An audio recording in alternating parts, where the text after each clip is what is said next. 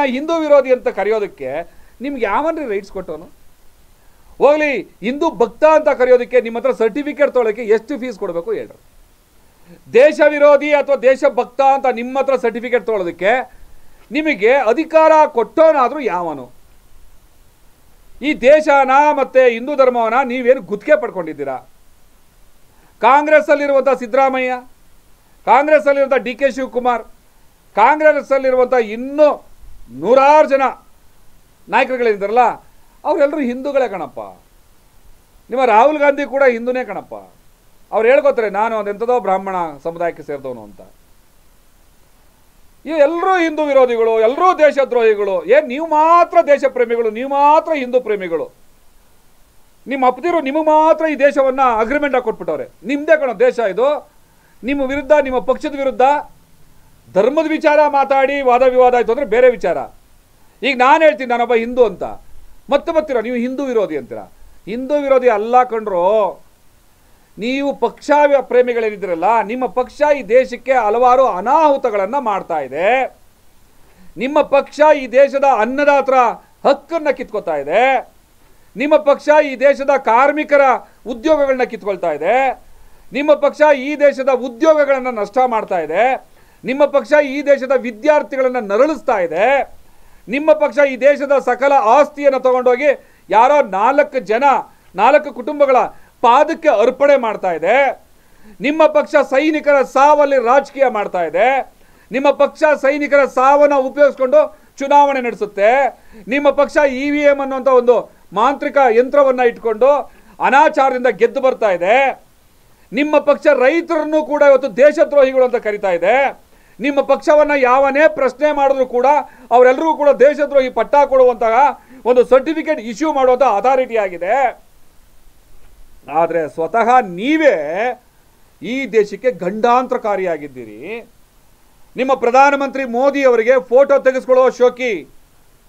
ಯಾರು ಹೆಂಗಾದರೂ ಸಾಯ್ತಾ ಇರಲಿ ಫೋಟೋ ತೆಗೆಸ್ಕೋಬೇಕು, ನವಿಲ್ ಜೊತೆ ಆಟ ಆಡಬೇಕು, ನಾಯಿ ಸಾಕ್ರೆ ಅನ್ಬೇಕು, ಪಂಚತಂತ್ರದ ಕಥೆಗಳನ್ನ ಕೇಳಬೇಕು. ಒಂದು ಡ್ರ್ಯಾಗನ್ ಫ್ರೂಟ್ ಅದರಲ್ಲಿ ಡ್ರ್ಯಾಗನ್ ಅಂತ ಕೇಳಿಬರುತ್ತೆ ಅದು ಚೈನಾನ ಸೂಚಿಸುತ್ತೆ ಅಂತ. ಅದನ್ನು ತಗೊಂಡೋಗಿ ಕಮಲಂ ಅಂತ ಹೆಸರಿಡ್ತೀರಾ?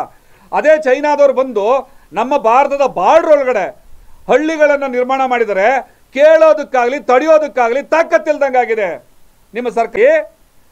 ಆದರೆ ಒಬ್ಬ ಹೆಣ್ಮಗಳನ್ನ ಅವ್ರ ಬಗ್ಗೆ ಇಲ್ಲ ಸಲ್ಲದ ಅಸಭ್ಯವಾದಂಥ ಯಾರೂ ಕೂಡ ಕೇಳಿಸ್ಕೊಳ್ಳೋಕ್ಕೆ ಸಾಧ್ಯ ಇಲ್ಲದೆ ಇರುವಂತಹ, ಕೊನೆ ಪಕ್ಷ ಅದ್ರ ಕಣ್ಣಲ್ಲಿ ನೋಡೋಕ್ಕೆ ಕೂಡ ಸಾಧ್ಯ ಇಲ್ಲದೆ ಇರುವಂತಹ ಫೋಟೋಶಾಪ್ಗಳನ್ನ ರೆಡಿ ಮಾಡ್ತೀರಿ. ಭಾಷೆಗಳನ್ನು ಬಳಸ್ತೀರಿ, ನೀವೇನು ತಾಯಿ ಗರ್ಭದಿಂದ ಹುಟ್ಟಿ ಬಂದ್ರ, ಅಥವಾ ನಾಯಿ ಚೀಲದಿಂದ ಉದುರಿದ್ರ? ನೀವು ತಾಯಿ ಗರ್ಭದಿಂದ ಹುಟ್ಟಿದ್ರೆ ಇಂಥ ಹಲ್ಕ ಕೆಲಸಗಳನ್ನು ನೀವು ಮಾಡೋಕ್ಕೆ ಸಾಧ್ಯನೇ ಇಲ್ಲ. ಯಾಕೆಂದರೆ ಆ ತಾಯಿಯ ಮಹತ್ವ ಏನು ಅಂತ ಗೊತ್ತಿರುತ್ತೆ. ನೀವು ಹೆಣ್ಣು ಮಕ್ಕಳುಗಳನ್ನ ಎತ್ತಿದ್ದೀರಾ, ಅಥವಾ ಮತ್ತೇನು ಕಲ್ಲುಗುಡ್ಡುಗಳನ್ನ ಎತ್ತಿದ್ದೀರಾ? ನಿಮ್ಮ ಹೊಟ್ಟೆಗಳಲ್ಲಿ, ನಿಮ್ಮ ಕುಟುಂಬದಲ್ಲಿ ಹೆಣ್ಣು ಮಕ್ಕಳುಗಳು ಹುಟ್ಟಿದಿದ್ರೆ ಮತ್ತೊಬ್ಬ ಹೆಣ್ಮಗಳ ಬಗ್ಗೆ ಹಿಂಗೆ ಮಾತಾಡೋದಕ್ಕೆ ನಿಮ್ಗೆ ಸಾಧ್ಯ ಆಗೋದಿಲ್ಲ. ನೀವು ಮನುಷ್ಯ ಸಂತತಿಯೇ ಅಲ್ಲ. ನೀವು ನೀವು ಬಿ ಜೆ ಪಿ ಬರೋಕ್ಕೆ ಮಾತಾಡಬೇಕಾ? ಮಾತಾಡಿ, ನಿಮಗೆ ಹಕ್ಕಿದೆ ಸಂವಿಧಾನದತ್ತವಾದಂಥ ಎಲ್ಲ ರೈಟ್ಸ್ ನಿಮಗಿದೆ. ಆದರೆ ನೀವು ಮಾಡ್ತಾ ಇರೋದೇನು? ಎಲ್ಲರನ್ನು ಕೂಡ ವೇಷ ಅಂತೀರಿ, ಎಲ್ಲರೂ ಕೂಡ, ಏನೋ, ಅಸಭ್ಯವಾಗಿ ಮಾತಾಡ್ತೀರಿ. ಇಲ್ಲಿ ಉಪಯೋಗಿಸೋಕೆ ಆಗೋದಿಲ್ಲಲ್ಲ, ಸಾವಿರಾರು ಜನ ನೋಡುವಂಥ ಕಾರ್ಯಕ್ರಮ. ಎಲ್ಲರನ್ನೂ ಕೆಟ್ಟದಾಗ ಮಾತಾಡ್ತೀರಿ. ಒಬ್ಬೊಬ್ಬ ಹೆಣ್ಮಗಳಿಗೆ ಹತ್ತತ್ತು ಜನ ಗಂಡದಿರು ಅಂತ ಮಾತಾಡ್ತೀರಿ. ಯಾವ ಆಕಾಶದ ಯಾವ ಭೂಮಿಯಿಂದ, ಯಾವ ಲೋಕದಿಂದ ಉದುರು ಬಿದ್ರಯ್ಯ ನೀವೆಲ್ಲ?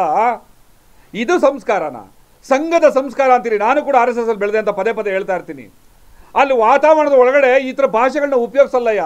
ನಿಮ್ಮ ಒಳಗಡೆ ವಿಷ ಅದು ಹಿಂಗೆ ಪ್ರವೇಶ ಆಗ್ತದೆ. ಸಂಘದ ಸಂಸ್ಕೃತಿ, ಅಶಿಸ್ತು, ಅವೆಲ್ಲೋ ಓಕೆ. ಆದರೆ ಅದರ ಉದ್ದೇಶಗಳ ಕಡೆ ಮಾತ್ರ ನನ್ನ ಪ್ರತಿಭಟನೆ ಇರೋದು.